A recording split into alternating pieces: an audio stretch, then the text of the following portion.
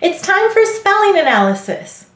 Today we will be using our new phonogram which says ow, oh. Let's say it together. Ow, oh. Be listening for this one. All right, our first word is cow. I heard a cow moo. Cow. Go ahead and say cow. Let's sound it out. K. Use a k. S. Ow. Oh, there's our new phonogram. Go ahead and write cow. Great. Now help me to write it. K. Ow.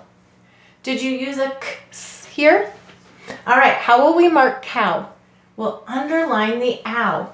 And what sound of ow, oh is that? It's the first sound. K, ow. The next word is snow. There is snow on the ground outside. Snow. Go ahead and say snow.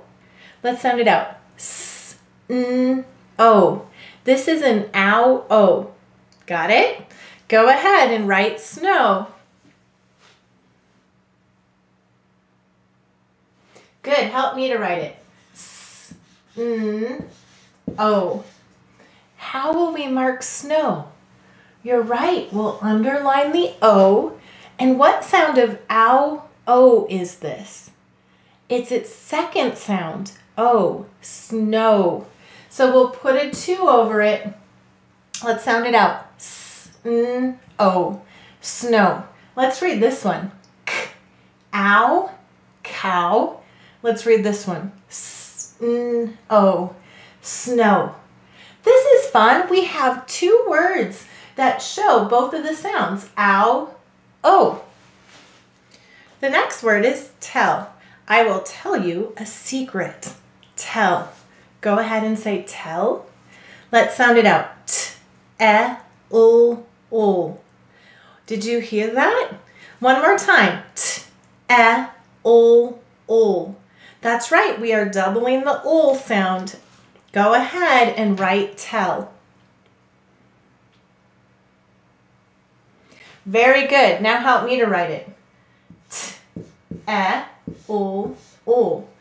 Why did we double the u or the l? We often double f, l, or s after a single vowel at the end of a base word. Let's sound it out. T, e, u, u. Tell. The next word is corn. We will be having corn on the cob for dinner. Corn. Go ahead and say corn. Let's sound it out. K. Use a k, s, or n.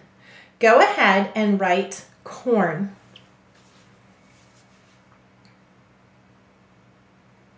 Excellent. Now help me to write it. K, or n. And how will we mark it? We'll underline the or. Let's read it. K, or n. Corn. The next word is hatch.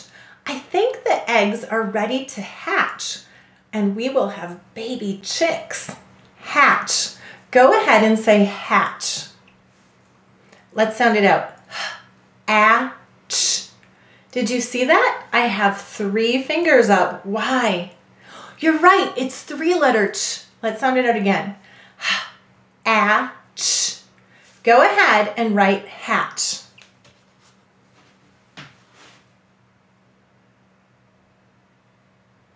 Now help me to write it. A, ch. And how will we mark it? We'll underline the ch.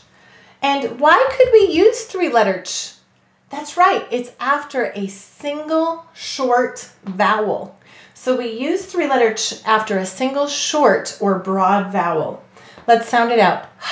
A, ch, hatch. Great work today. Combining the science of reading with the joy of learning.